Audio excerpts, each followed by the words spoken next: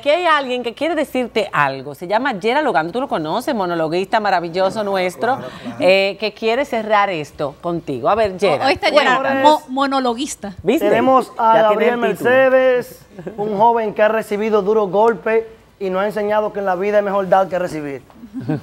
Salió de Monteplata a buscar medallas de plata y de oro. Y ustedes saben que por la plata baila el oro. El refrán dice el mono, pero como ustedes entenderán, yo no le voy a decir mono a un medallista olímpico de taekwondo que también es militar.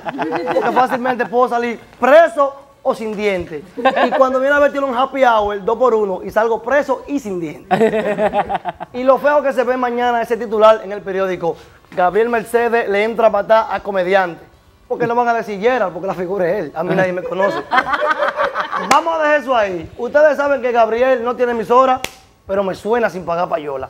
A los pleitos con Karateca hay que sacarle los pies para no meter la pata. Sí, Es un orgullo. Ahora me toca darle loas Ajá. para enfriarme. Ajá. Es nuestro orgullo. Gabriel Mercedes nos representó en Pekín y se la quisieron poner en China. Fueron tantas las patadas que así mismo quedó la pelea, empatada.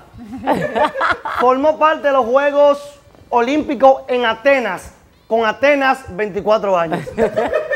Luego de su victoria, muchos políticos se le acercaron.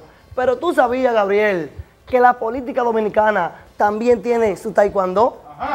Mira, los políticos nos la ponen en China, nos tratan a la patada, pero nunca alcanza la victoria. A veces le toca un najayo, level, pero que va, son cuello blanco, cinta negra, de lo que el pueblo siempre recibirá gol- golpes bajos. ¡Ey! ¡Bravo! ¡Qué bueno nuestro monólogo! Gabriel, Gabriel, orgullosos de ti. Recupera esa confianza que ya la tienes de base, pero en lograr todo lo que te propongas para estas próximos, estos próximos años dentro del mundo del deporte y seguir haciéndonos sentir todavía más orgullosos. Bueno, muchas gracias.